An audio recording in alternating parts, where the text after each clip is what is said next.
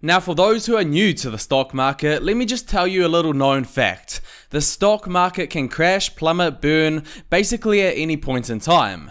Let me just take you through a little bit of history. We'll go back about 15 years. Now, as you can see, for a good 5 years, everything was looking good. Stocks were increasing, people were making money, and basically everyone was happy. Until it came to the month of October. Stocks just started to crash out of nowhere. There was too much debt in the system, too much money borrowed for houses, and it was game over. Things started to tumble, and very few guessed it. Most thought things would keep just going up.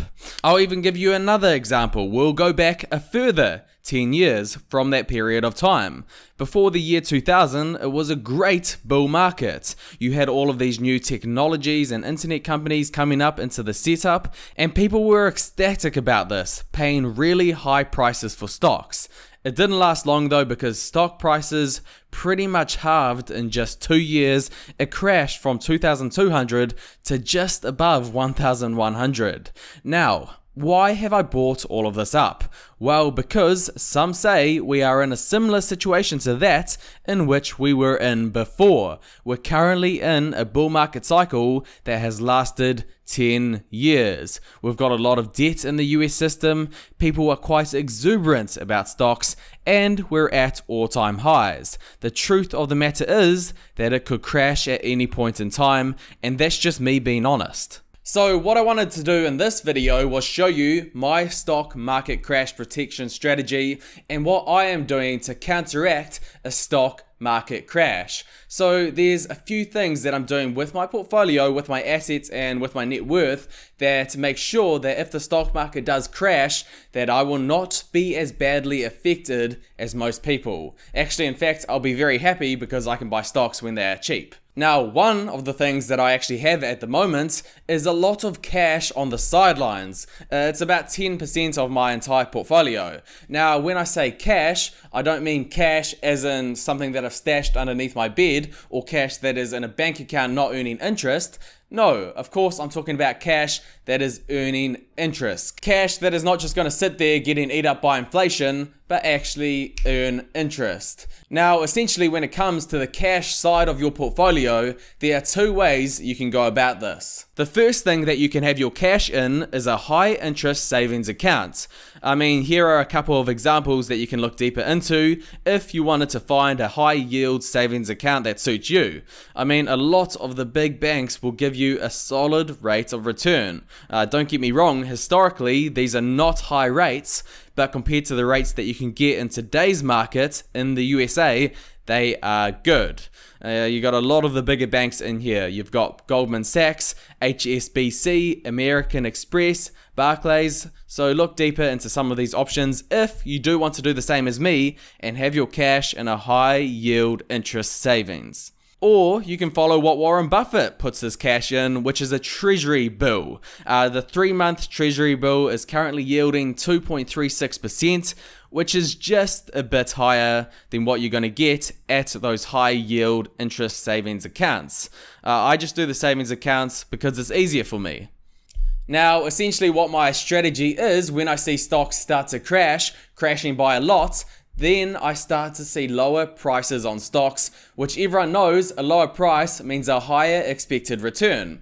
That's just obvious maths. Uh, that is when I'll start allocating more of my cash position into stocks. Uh, people will be panicking with their stocks, seeing it all go down in price. What cash will be doing, it will still be earning interest, making money, and that is the perfect time to buy in when people are very fearful. Now, obviously, you're never going to exactly time the bottom of the market, but that is why you slowly allocate more towards stocks as they go down in price. Moving on to my next strategy to protect myself in a market crash, and that is gold. Now, I did own some gold stocks half a year ago. Unfortunately, I did have to sell it off, but now I'm going to be buying back into gold as a portfolio hedge. So let me just show you why gold is a good asset to own uh, with regards to your portfolio to protect yourself in a stock market crash. Why is it a hedge against a stock market crash? First, let's take a look at what the price of gold did in the last stock market crash. Okay, so the last stock market crash occurred from October 2007 to March 2009, lasting almost one year and a half. Over that time, the stock market dropped over 50%, but the question is, what happened to the price of gold during that time?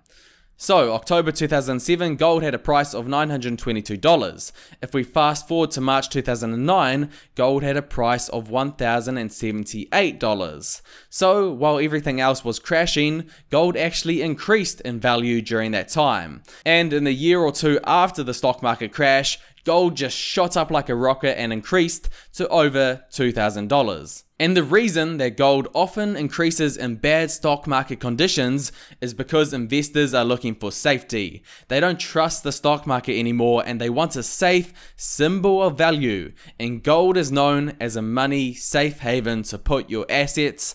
Uh, gold's history goes right back to ancient times, and as we evolved our currency systems, it was made the currency of choice for many countries. It's still considered a symbol of safety to this day and just like in the last stock market crash, people rush to this symbol of safety when things become unstable. Now, I just want to tell you quickly about a strategy used by one of the best investors in the world, a guy called Ray Dalio, and one of the things that he does to protect himself. I'll show you what he does, and then I'll show you what I do a little differently.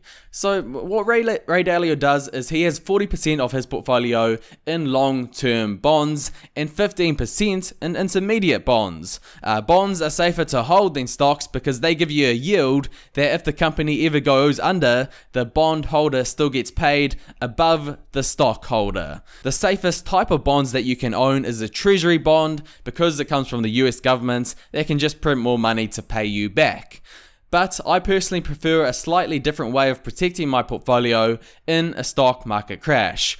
I do not like owning bonds, and, and the strategy that I prefer to owning bonds is owning dividend aristocrats. Dividend aristocrats are simply stocks that have increased their dividend payments for more than 25 years in a row.